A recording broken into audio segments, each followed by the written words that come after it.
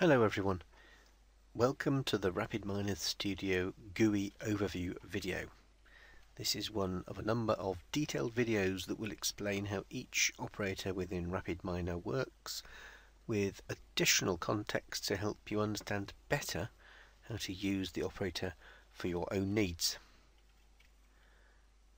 This video is going to give an overview of the GUI and touch on some high-level concepts such as views, how to run a process, how to change operator parameters, and how to save your process in the repository. When you run RapidMiner, you'll see something like this. This is the uh, welcome screen or the home screen for version 6 of RapidMiner Studio. Videos we will produce will use this uh, version wherever possible there are some differences between it and version 5 and sometimes we may therefore need to include a version 5 view to help explain some of the differences. You will probably spend most of your time in the design and results view initially. So to go to design view you press F8 or press the button here. So this is the design view which is where processes are designed. You'll notice there are a number of windows arranged in, in this view. Let's look at each of these one by one. The operators view, as its name implies, gives you lists of operators that are available to use in a process. And it's a tree structure, so if we click on the little plus, we can, for example, drill into um, operators that are available and you'll see here's a naive Bayes operator which we can drag over to here. Uh, which I'll, we'll come to that in more detail later but the, all the operators are here and there are many um, hundreds of these and they are grouped in a logical way but you can simply type in this box here and um, the window will use what you've typed to create a search. So you see I typed in naive here and naive Bayes was shown up. Also there are another a number of other operators that have naive in the name and you can see that it's a, it's a good way to find things quickly if you know what you're looking for. The repositories window this gives you a tree-like view for all of the repositories that you may have created. Now when you install the product by default you get a number of samples and default locations. So for example, this think of this as a location where data is stored or where processes are stored. And you'll find yourself reading and writing from the repository both processes and data and also a number of other types of object. So ne the next window is the parameters window here. Now each operator that you drag into the main window can have its operation modified by changing the parameters associated with it. So the, the main process itself has parameters and you can change them here.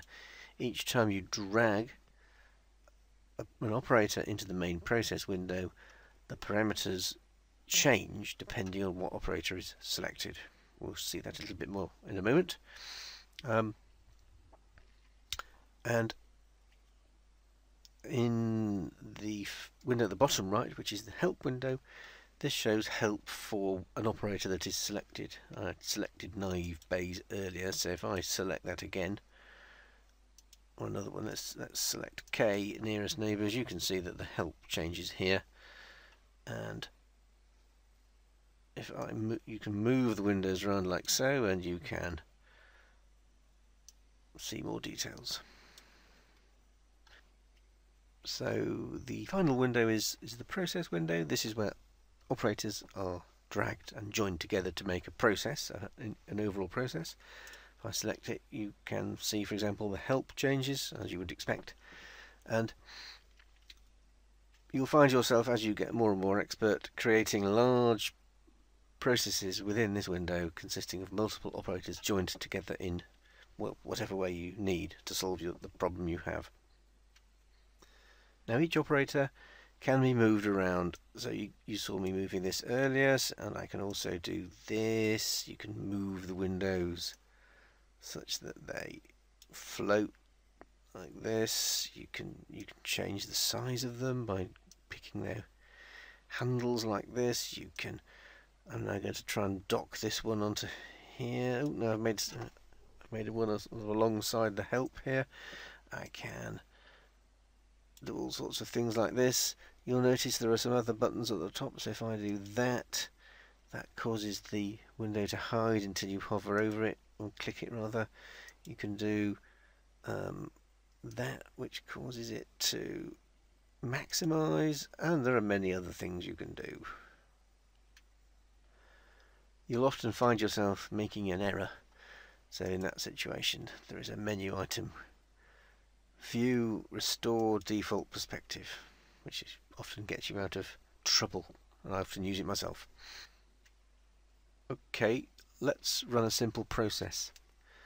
So let me fold away everything to keep the extraneous detail away, and let's do the following. Let's find some data in our repository, the famous Iris dataset, and let's drag it, which is left mouse click, drag it and then release it in the main process. Then let's connect the output port by again left clicking and dragging and then releasing there on the result output. As you can see you can move the operator around by left clicking and dragging and now we've created our first process. What this is actually doing is doing a retrieve from the repository using the retrieve operator if you might see here, retrieve iris retrieve. So the name of the process, the name that it's given to a person can see is retrieve iris. You can change that by typing in this box here. But the actual class of the operator is retrieve, and of course it has some parameters, and you can see them here. So this is describing in detail where this data is. It's in the samples data iris entry in the repository. And also you can see the help has changed if you right mouse click on an operator a sub menu comes up and you can do things like disabling the operator, changing its name, do other things to replace it with other operators and set breakpoints. We'll cover those in a bit more detail later. You can even delete the thing by pressing delete here. Now let's run the process and you can do that a number of ways. You can for example do process run, you can press F11 or what I do is I just press this button here Having run it then we get we go into the results view. You can see this by the top right here. The results view is in a different highlight. You can get to the results view by pressing F9. Now what's seen is is a number of different views of the result itself. Now in this case this result is um, shown as a table here. So if you know the Iris dataset you'll know you can see there are 150 examples. An example is a row and there are various different attributes columns here which describe different in this case measurements for a particular sort of iris so that's the data tab now version 6 is different and displays data in a slightly different way um, but it's the, the, essential information is obviously still there and version 6 presents some of the graphs in a nicer way so the data view is, the, is essentially the table the statistics view um, this gives you a summary of the various attributes and the data in general. So you can see, for example, that attribute A1, it's of type real, it has certain um, statistics associated with it, and clearly that's valid if it's a real number. The attribute which is called label, that is actually um, not obviously a number, it's a nominal we'll come to the description. We have a glossary video in the next video, which will give some details about what these things are. And you can see here's a summary of, of you know what it's about that particular attribute. The charts um, view gives you the ability to plot various interesting charts. So, for example, you can do a scatter diagram, and now you can select things like attribute A1, attribute A2, we perhaps colour it in by the label. The advanced charts view, similar actually to the charts view, but with obviously far more sophisticated and far more power when if you want to draw pictures. So you might do this, you might do this, and you might do this, essentially recreating the one I just showed you. But as you can see, there's a lot more flexibility here in the advanced view. And then finally, the annotation view. This lets you add in notes, essentially, by doing the add annotation here. And you can, if, if the particular process you ran had something interesting, you could record it for posterity here. Now you'll notice the results view is just a view. It also has other things on it. So for example, the result overview tab that gives you details of by simply clicking you can see more details. It gives you details of what happened in the test with some summary data. Um, the results view also has a repositories tab which is the same view as in the design view and of course as before you can move these things around if you want and so on and so forth. And you can even add new views. So if I, for example, go show view, I could put in help in this view here, and I could move it round. I have all sorts of fun.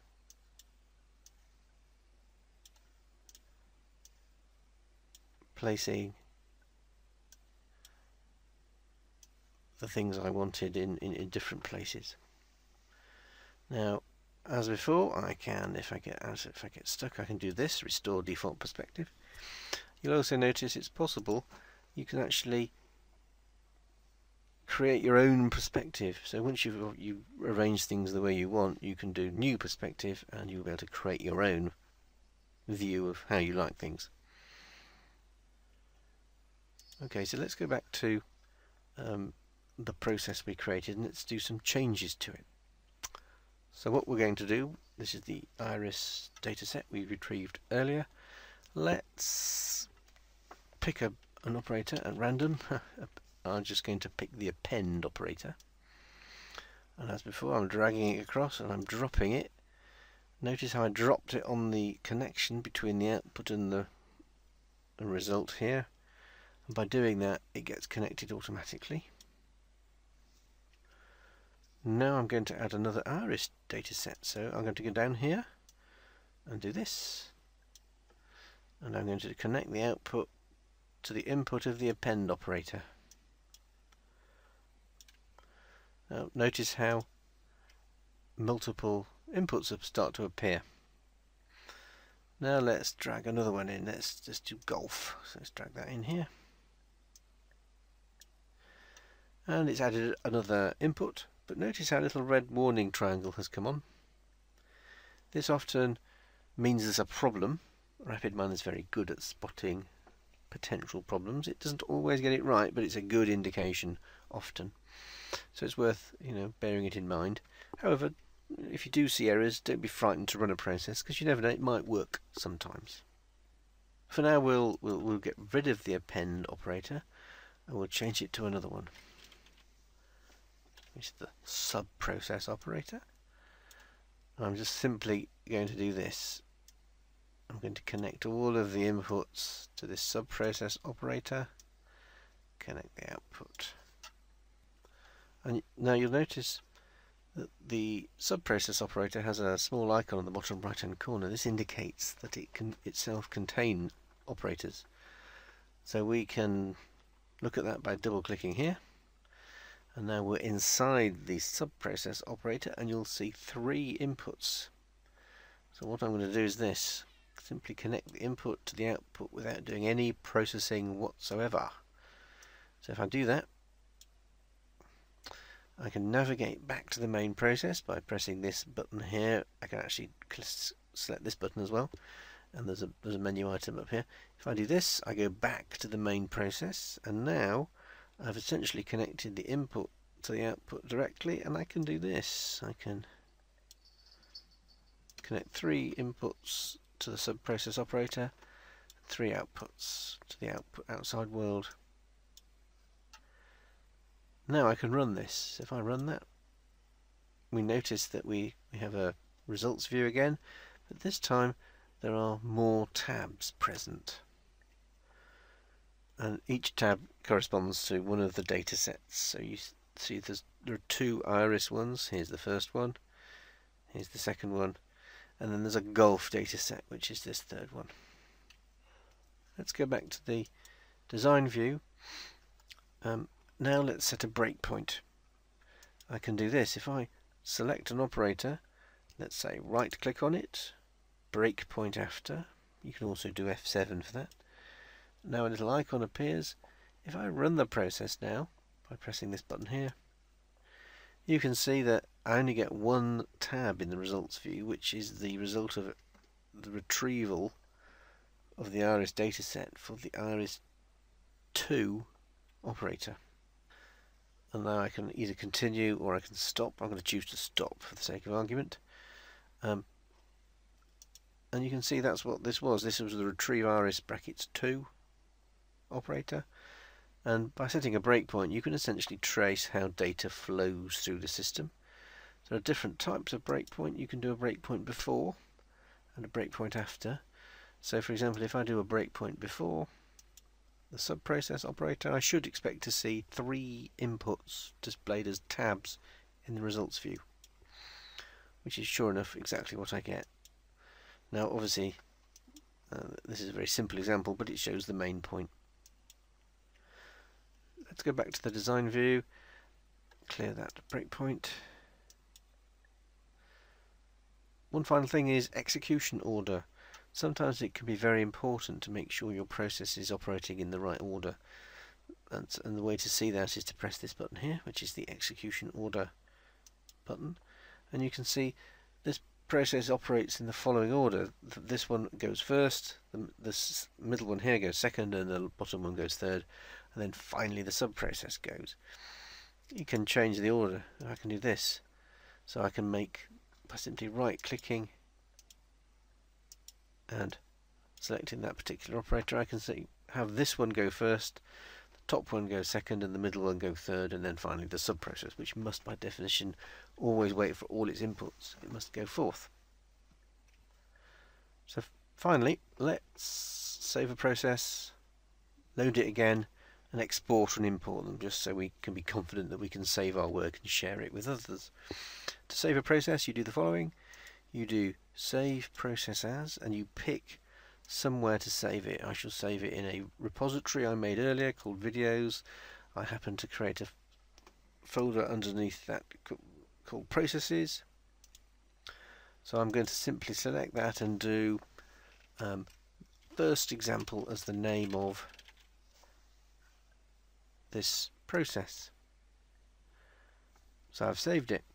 If I do, if I want to test that it still works, I'm going to do the following. I'm going to do new process, so I've cleared everything.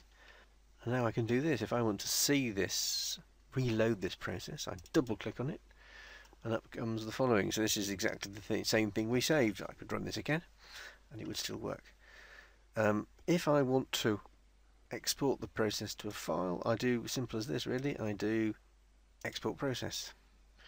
And I can choose to save it. I'll save it on the C drive because why not?